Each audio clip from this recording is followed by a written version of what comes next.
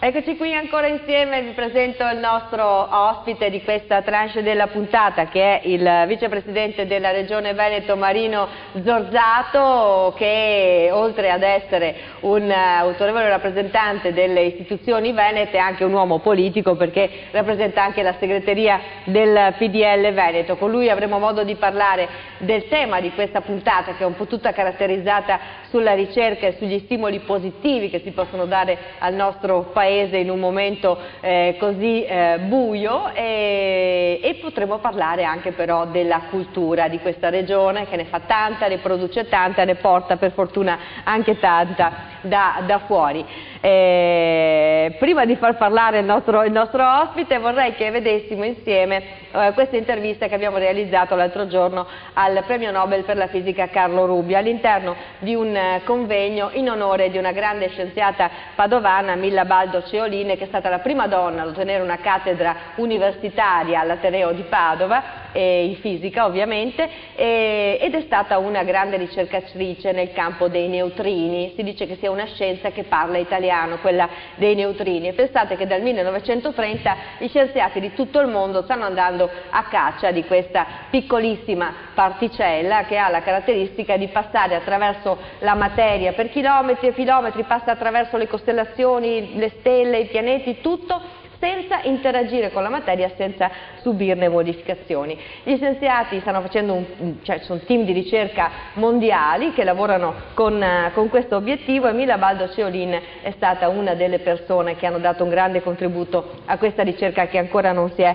conclusa. Con uh, Carlo Rubi abbiamo parlato di innovazione perché sapete quel ruolo avuto nella ricerca sul nucleare e nella speranza di un nucleare pulito, sapete il ruolo che sta avendo anche in questo momento nella ricerca nelle nuove nuove energie e ha un ruolo molto importante anche nel campo dei neutrini perché lui ha condotto anche la ricerca che alla fine ha smentito il famoso esperimento del CERN di Ginevra che diceva che andavano alla velocità più veloci della luce. Non è vero, non vanno più veloci della luce ma sono importanti lo stesso. Allora sentiamo questa intervista. Allora, cominciamo dall'ultima cosa che ha detto. L'energia nucleare ha bisogno di ricerca, altrimenti è spacciata. Ripeto, ho confrontato, sto confrontando l'enorme sviluppo tecnologico che è avvenuto dagli anni 60 fino ad oggi, che sono 50 anni, mezzo secolo, in tutti i campi della scienza. Guardo i computer, guardo la biologia, guardo le tecnologie avanzate, i computers, il, il, il transistor, il laser, tutte quelle cose, ci sono stati degli sviluppi assolutamente straordinari nel campo della scienza che hanno modificato completamente la situazione. Un aereo che volava 50 anni fa era un piccolo oggetto a confronto a quegli aerei, che volano oggi. Quando mio padre andava eh, sull'aereo aveva una paura folle perché quella volta gli aerei erano pericolosi. E come si è risolto il problema? Trasformando l'aereo da un oggetto pericoloso all'oggetto che è più sicuro di questo mondo, perché oggi il modo migliore per viaggiare è andare sull'aereo. È più facile farsi avere un incidente nel taxi dall'aeroporto fino a casa di quello che c'è per andare da qui fino a San Francisco.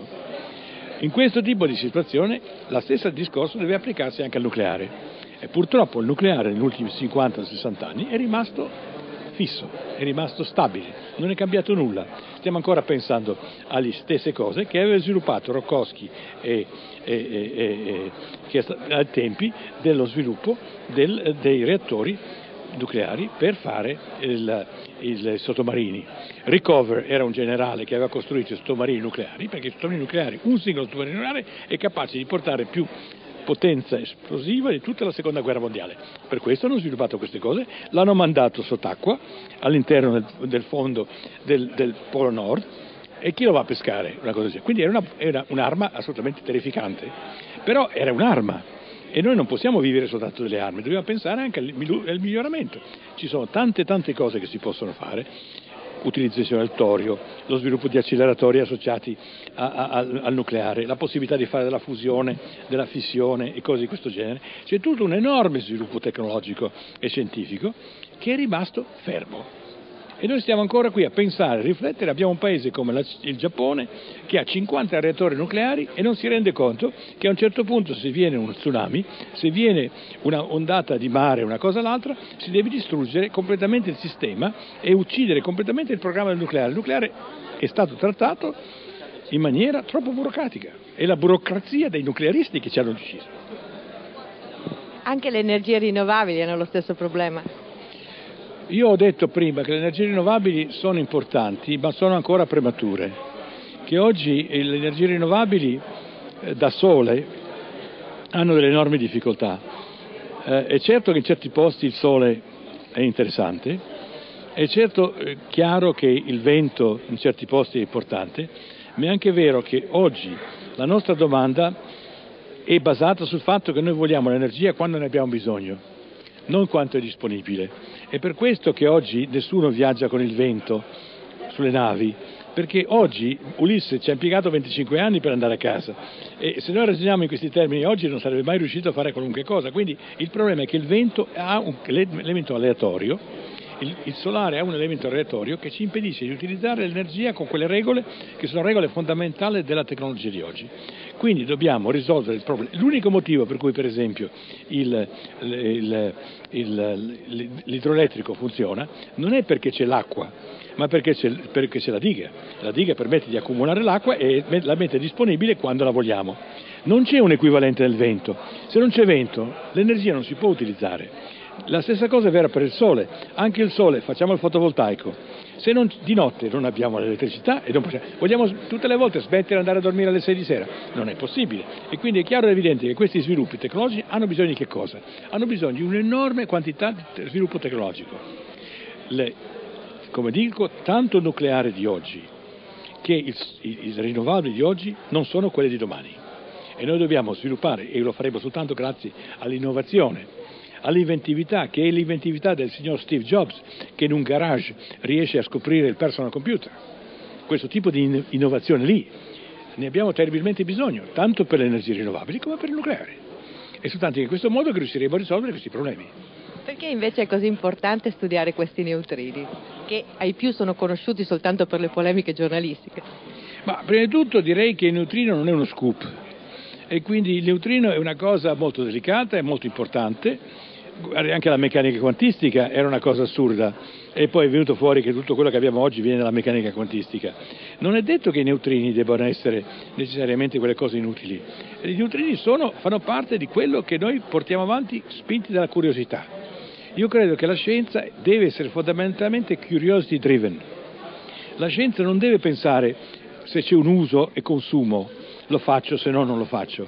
La scienza deve essere fatta in maniera tale che tutto quello che è nuovo, innovativo, interessante deve essere studiato e avanzato, non perché ha un fine pratico, ma perché soddisfa il nostro più profondo desiderio di curiosità. La curiosità è quello che ha messo l'uomo sulla Luna. Siamo andati per curiosità sulla mica andati per altri motivi. E l'uomo è passato da dove era fino ad oggi grazie a questo sentimento del fatto che bisogna conoscere le cose e capire. E conoscere e capire è, un, è, una cosa che non può avere limiti. A mio parere non esiste la scienza applicata. Einstein diceva non esiste la scienza applicata, Einstein diceva esiste solo l'applicazione della scienza. Quando tu fai della scienza e domani scoprirai che se la scienza può essere utile o non può essere utile, ma non lo devi dire prima, lo devi dire solo dopo. Oggi l'obiettivo è Marte.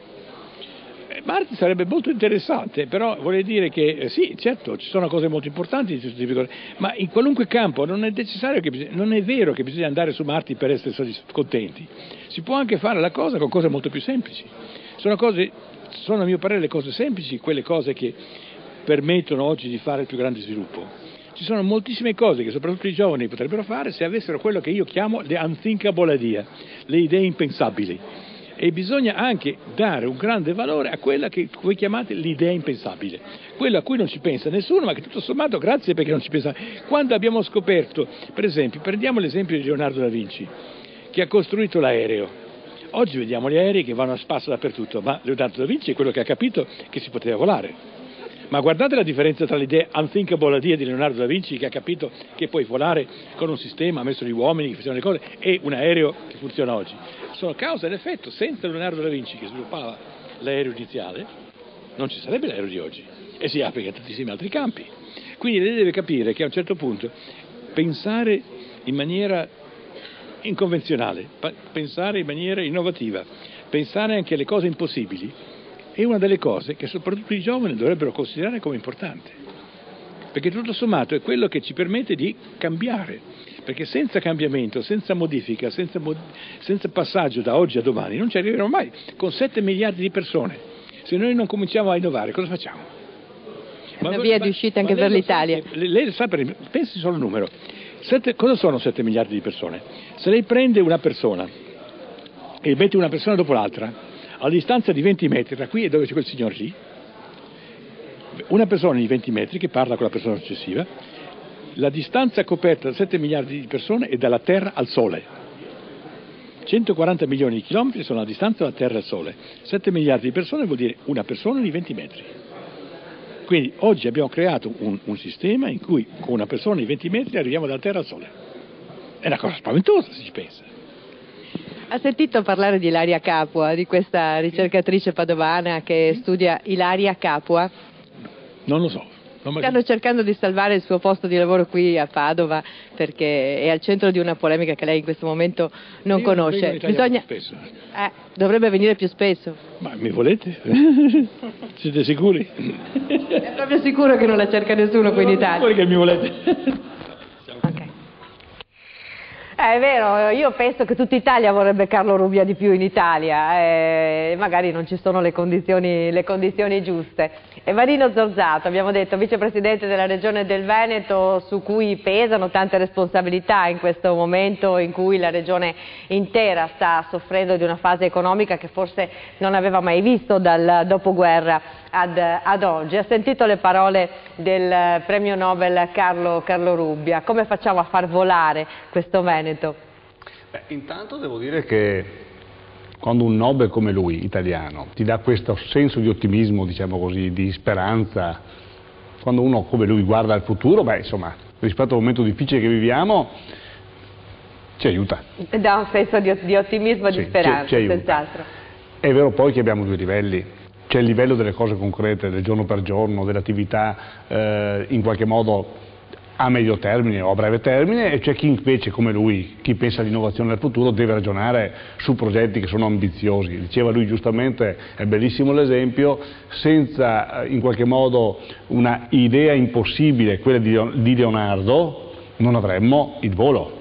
Quindi... Il Veneto ci sta provando ad avere delle idee possibili, però mamma mia che fatica, per esempio penso all'idrogeno nella, nella, zona di Marghera che potrebbe essere una, una, frontiera nuova, penso a quello che dovrebbe succedere che ne so, a Porto Tolle con la nuova centrale che dovrebbe essere uno degli esperimenti più avanzati nel, nel settore eh, del, del, riutilizzo dell'anidride carbonica. E che ne so, tante altre cose simili che, che, potrebbe fare questa regione ma invece non si vedono progredire. Come, come andiamo? No, quello che conta, credo, voglio ancora rifarmi all'intervista perché c'è una concretezza in quello che dice il professor Rubbia che va al di là degli slogan e cito quello che lui dice e in qualche modo un qualcosa che mi è capitato di vedere. Io ho visto dei, dei, dei campi sterminati di pale eoliche. -huh e di queste pale eoliche, che qualcuno dice che rovinano il paesaggio o no, ho visto in qualche modo una buona parte di queste ferme.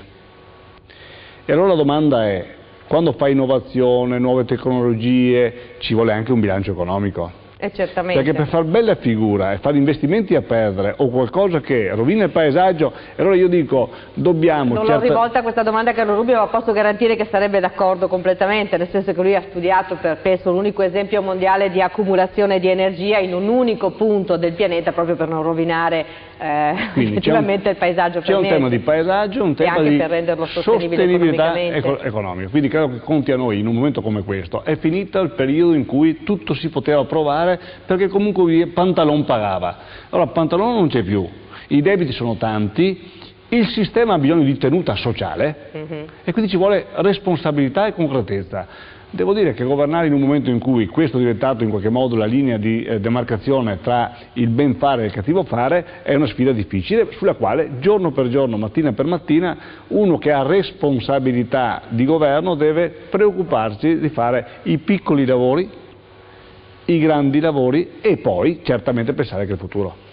Ecco, tra i politici lei ha anche una competenza che è, è oltre ad avere l'urbanistica, che diciamo magari le dà qualche guaio, ne ha anche una molto carina che è la cultura, eh, di cui abbiamo sempre un gran bisogno, perché anche io, io, credo che anche attraverso la cultura si possa superare un momento così difficile, anche attraverso la cultura si può guardare all'innovazione e a questi eh, sogni di cui parlava anche eh, il, premio, il, premio, Nobile, questa capacità di, eh, il premio Nobel, nobile dal punto di vista dell'attività che produce per il mondo, eh, anche la cultura può dare moltissimo in, in, questo senso. Voi questa settimana siete molto impegnati anche sul fronte europeo perché avete un salone europeo della cultura che è un altro passettino in avanti verso le candidature che stiamo portando avanti del, della nostra regione eh, ad essere capitali europei della, della cultura. Cosa state facendo ed è vero che questo può aiutarci anche un po' a uscire dalla crisi? Eh, cultura, innovazione, territorio, argomenti che fino a qualche tempo fa non si mettevano assieme, non uh -huh. si mhm. sposavano. Però credo che eh, a chi ci ascolta due, due informazioni, co così cominciamo. Uh -huh. Ci mhm. sono due aziende in Veneto che stanno dando ottimi risultati. L'export, lo chiamo azienda, cioè certo. tutte quelle imprese che lavorano col mondo, certo. e il turismo. Abbiamo 63 e più milioni di presenze turistiche in Veneto, in crescita. Più di 16, 15, 16 milioni di turisti fisici che vengono qua. Con il turista che in qualche modo nuovo, che va nelle città d'arte, nelle vie venete, nei paesaggi particolari, che spende pro capite il doppio del turista tradizionale, 60 euro circa a persona al giorno si spende nelle, nelle mete storiche, le spiagge nostre, 120 euro spende un turista invece diciamo di città d'arte. E questa è un'industria, non è più uno scherzo. Certo. Questa è l'industria assieme all'Expo che fa la differenza in Veneto. A chi arriva ovviamente bisogna anche proporre. Perché, perché rega questa, questa industria? C'è un problema infrastrutturale, i buoni alberghi, la buona cucina, ma senza la parola cultura come contenitore. Comunque vorrei dire che se ce l'abbiamo noi il problema dei buoni alberghi e della buona cucina, Dio, il resto del mondo si deve ammazzare, voglio dire, perché eh, certamente... abbiamo anche Avaro Terme che abbiamo appena visto che licenzia 300 persone, quindi volendo possiamo rilanciare una, allora, un centinaio di alberghi. Tu lo rilanci usando la parola cultura, che diventa in qualche modo la cornice su cui costruisci il vento del futuro. Mm. Eh, se fai questo, queste nostre due industrie, l'una è Made in Italy, il concetto di export sta tutto quanto nel nostro, nel nostro messaggio, e il turismo è l'altro elemento. E insieme si collegano queste due parole con il tema della cultura e del territorio del paesaggio. È un insieme. Ecco perché noi stiamo cambiando approccio, cioè la cultura non è più un problema da fornire a pochi interessati per se stessi. È in qualche modo un modello di sviluppo del Veneto che offriamo ai Veneti prima di tutti, ma soprattutto al mondo perché venga in qualche modo in questa bellissima regione a spendere e a farci superare questo momento. Ho l'impressione che, che i dati ci dicono che fra qualche anno queste due eccellenze saranno le due industrie del Veneto. Cioè chi saprà poi c'è l'autoconsumo interno, le aziende per noi, non ci mancherebbe, però chi saprà guardare il mondo essere interessante sul piano dell'industria. Quello che le ho detto prima, l'idrogeno, la centrale, Ma... moriranno o saranno no, portate avanti? Rubi è padovano, eh, cioè beh, è eh italiano. Beh. È venuto qua a festeggiare una padovana, lui non conosce l'area capo perché eh, è una dimensione eh, mondiale. non è mai in Italia, come giustamente il, il, il Veneto è una fucina di talenti e poi lui citava chi in uno scantinato, Jobs, ha fatto una grande invenzione. Lui sa probabilmente quanti scantinati ci sono in Veneto in cui qualcuno si ingegna dalla mattina alla sera Lui stesso mi a sa creare... che si è messo in uno scantinato all'inizio. E quindi io credo che è proprio la nostra cultura quella dell'ingegno. Certamente ci ha dato degli stimoli in più e noi lavoriamo anche su quelli. Sì, io credo che appunto anche la grande tecnologia alla fine abbia come ricaduta la, la, la crescita del, dell'intero paese, come diceva giustamente Rubia nell'intervista, nell anche la meccanica quantistica, che se non si sapeva bene che cosa fosse, poi alla fine ha dato, ha dato delle ricadute importanti su quella che è la nostra vita, vita quotidiana. E eh, io credo che questa regione aveva talmente tanto da offrire anche dal punto di vista della cultura, che anche, anche la ricerca scientifica è cultura di per sé stessa, che, che, forse si fa fatica a far percepire da tale mole di quantità di, di, di proposte che ci sono. Questo è un problema. Il Veneto è bellissimo, è denso di offerta, e quando il mondo ti guarda, eh, ti guarda eh, in qualche modo per le eccellenze.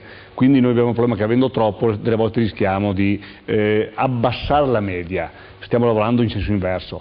Quando si parlava prima di Salone Europeo della Cultura, quest'anno noi presentiamo a Venezia un lavoro diverso dal solito, perché si chiama Salone Europeo della Cultura, ma ha due su quattro sezioni, una rivolta all'innovazione e quindi una cultura di, un approccio diverso, l'altro rivolto al tema dell'informatica, diciamo, al modo con cui il mondo della cultura guarda queste nuove tecnologie.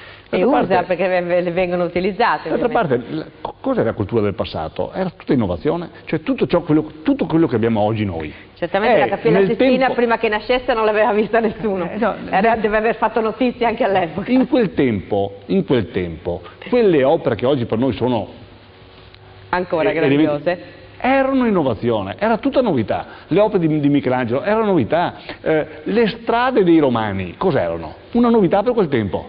E potrei andare avanti. La Villa Veneta cos'era? Era un'azienda, era una fabbrica fatta in centro a territori veneti in cui si cominciava a lavorare, a trasformare il prodotto agricolo in produzione. Adesso vediamo la bella villa. Faccio una considerazione, una curiosità. Quando uno pensa alle ville del Palladio, alle meravigliose ville vicentine del Palladio anche in città, oggi le guarda con l'occhio dell'ammirato che vede una bellezza architettonica. Erano esattamente, per gli anni in cui furono fatte, delle mostre permanenti dei grandi vicentini tessitori, i quali invitavano i loro omologhi eh, diciamo delle fiandre, a venire a Vicenza a scambiare erano i prodotti. Erano il salone er, dove erano si mostravano le, le esatt proprie... Esattamente dei saloni di moda. Mm. Abbiamo oggi quelle ville, ma erano aziende e imprese, quindi il tema della cultura ed economia, che è il titolo che noi abbiamo dato alla sfida che Venezia sia il Veneto capitale della cultura nel 2019, è cultura ed economia, perché la parola cultura da sola fa poca strada. Beh, insomma, sono sempre andate di pari passo nella storia e così è giusto che forse procedano. Io devo mm, stopparmi per due minuti per una piccola pausa pubblicitaria, ma poi ritorniamo insieme perché dobbiamo parlare anche di altri argomenti e anche del futuro di questo Veneto che dovrà vivere anche questa divisione delle province, aree metropolitane, insomma, ce n'è di carne al fuoco. A tra poco.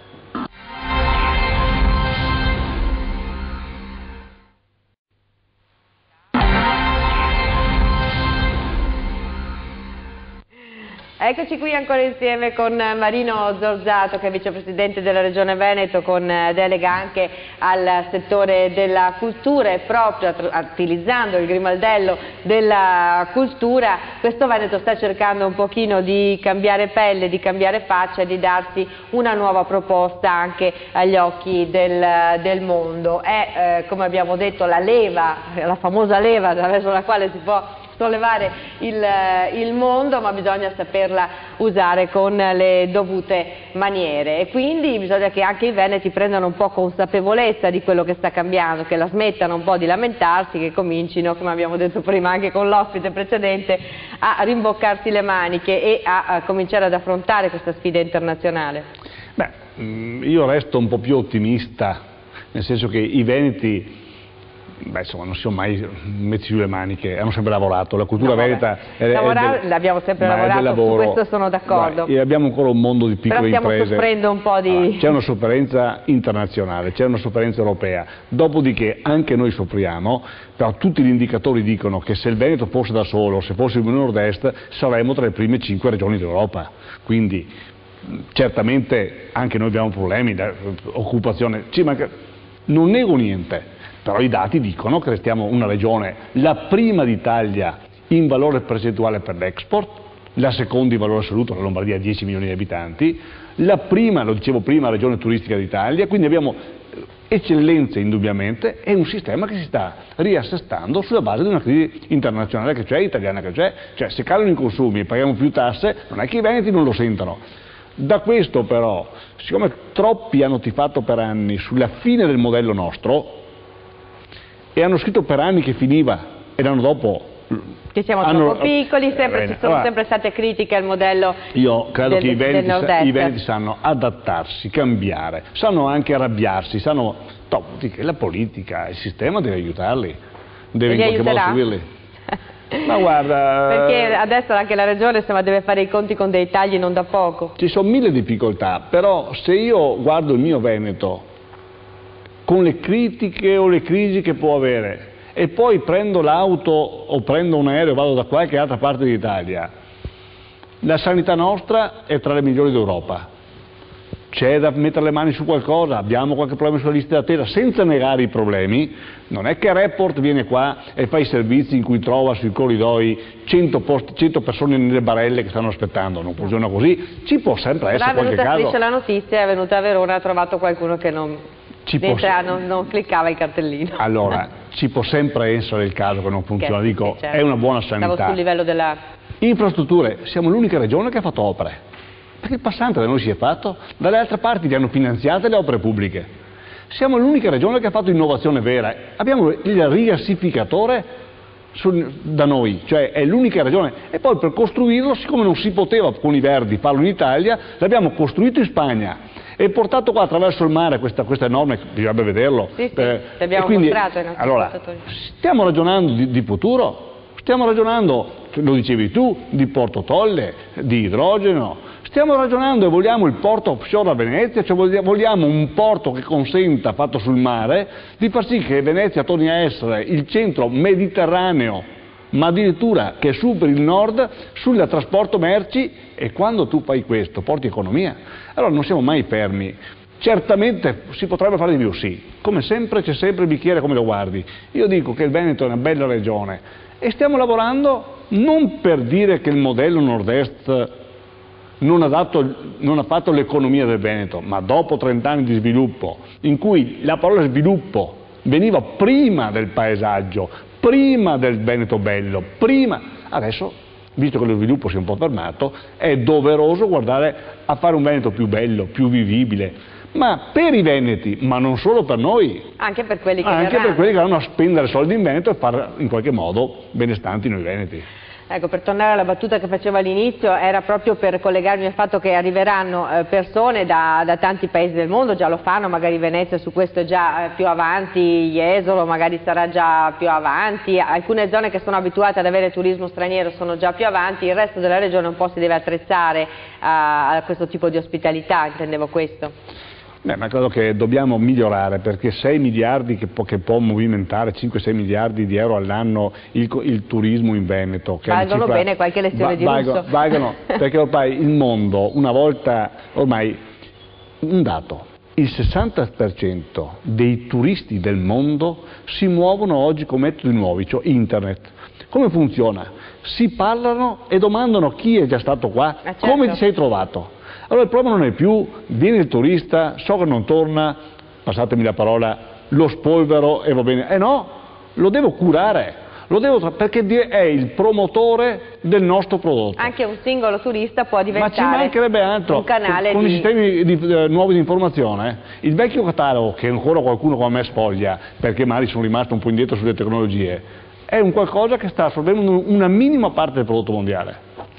Ci sono tante chance a disposizione del nord-est sicuramente, non c'è solo il lato oscuro di, di, questa crisi, ma come dicono eh, la saggezza cinese, dietro ogni crisi c'è anche qualche opportunità. E finalmente stiamo cominciando a vedere anche qualche esempio concreto di questa filosofia orientale. E quello che arriva però, adesso per spostarmi un po' anche perché il tempo purtroppo qua è tiranno, abbiamo solo qualche battuta da fare, eh, per parlare un po' anche dei temi della politica, almeno due cose vorrei affrontare affrontare con lei, primo perché so che su questo lei è molto attivo in questo momento, questo ragionamento sulla divisione del Veneto in province, eh, come dovrà avvenire, ormai eh, sappiamo che è stato stabilito almeno per il momento l'area metropolitana di Venezia, Treviso con Padova, eh, Vicenza da sola, Verona con Rovigo, Belluno da sola, questa è un po' la, la, la fisionomia che dovremmo assumere, eh, però sappiamo che le forze in campo sono tante, si vuole eh, o farne un'intera area metropolitana o farne due o non si capisce bene. Lei eh, come, come, la vede e che conseguenze ci sono? Perché si rischia di pensare che questa è una discussione un po' così astratta che non ha nessun tipo di conseguenza poi nella vita delle persone. Il tempo tiranno mi obbliga a qualche battuta, ma sì. una premessa importante. Probabilmente un anno fa un sondaggio con chiunque avrebbe detto che i veneti, gli italiani, le province non le volevano più. Il tema non era se servivano o no, il tema non era se erano utili o no, ma si era deciso che non servivano più. Io non voglio entrare in questo argomento perché il governo ha deciso di fare una mediazione di 150, cioè né carne né pesce, ma, ma la filosofia che sottendeva questo ragionamento degli italiani qual era? Abbattiamo i costi della politica, abbattiamo i costi del sistema.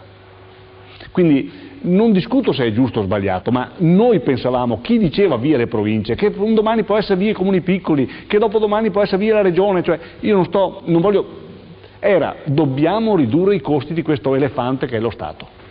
Poi farò un passaggio su quanto elefante è lo Stato e quanto meno sono i territori, ma... Lo bene, sappiamo, l'abbiamo detto bene. tante volte. Allora la domanda è, perché non mi appassiona la parola città metropolitana? E perché quando sento che Padova potrebbe andare sulla città metropolitana eh, mi vengono, si dice, eh, I, mi si, i, i, i, i, peli d'occhio. Ma perché? Perché se eravamo contrari alla provincia perché era un costo, la città metropolitana, se ci sarà mai, è un costo maggiore perché è una provincia rafforzata, cioè a dire non volevamo qualcosa e facciamo un carrozzone più pesante. Mm. Cioè, allora, eh, la trovo una cosa, è un cortocircuito.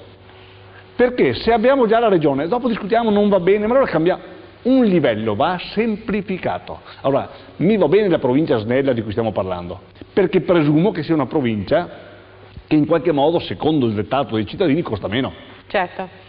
Non mi va bene un carrozzone metropolitano, perché la logica che, per chi lo difende è diamogli ulteriori competenze. Siccome le competenze sono personale, personale, costi, e aggiungo due considerazioni velocissime. La prima, se io, e faccio un esempio, se devo andare domani mattina in banca ad aprire un conto corrente, prima chiedo le condizioni che mi fa la banca e il tasso che mi fa, mm. e poi apro il conto corrente. Certo. Non è che apro il conto corrente e il giorno dopo dico... Ah no, ma qua c'è l'8% qua, qua il tema è, prima facciamo la città metropolitana, poi ci domandiamo cosa fa e quanto costa. No. Padova ha 430 dipendenti di provincia, Treviso ne ha 600, Venezia ne ha quasi 800. Questi vanno tutti assorbiti, comuni e regione ovviamente. Quando li metti assieme sono 2000, da 2000 li dai più competenti diventeranno 3000. No, io sono contrario. Mm. Poi, giusto perché lo Stato lo sappia e i cittadini lo sappiano, se Padova ha 400 dipendenti e Treviso ne ha 600 dipendenti, lo Stato, lo Stato, tra Padova e Treviso ne ha 8000. E non parlo delle scuole, eh parlo di questura, prefettura, INPS, INAI. Sì, sì. Allora, Abbiamo poco siamo? tempo, voglio che mi risponda in 30 secondi, queste primarie le facciamo, non le facciamo, serviranno, cosa dirà il Veneto? Le facciamo, servono come atto di partecipazione, sì. sono interne per cui di fatto non sono di coalizione, ma credo che ogni volta che tu metti in condizione qualcuno di dire come la pensa e di esprimere un parere, così come le preferenze per le votazioni, sia un atto di civiltà e di democrazia, quindi va bene che vengano fatte. Allora, domenica si votano quelle del PD, siamo in attesa di sapere la data di quelle del PDL, comunque è tempo anche di innovazione nella politica un pochino, per fortuna, e speriamo che il taglio dei costi prima o poi arrivi. Grazie a Marino Zorzato a per voi. la disponibilità e buon lavoro e grazie a voi per essere stati con noi questa mattina, buona giornata. Arrivederci.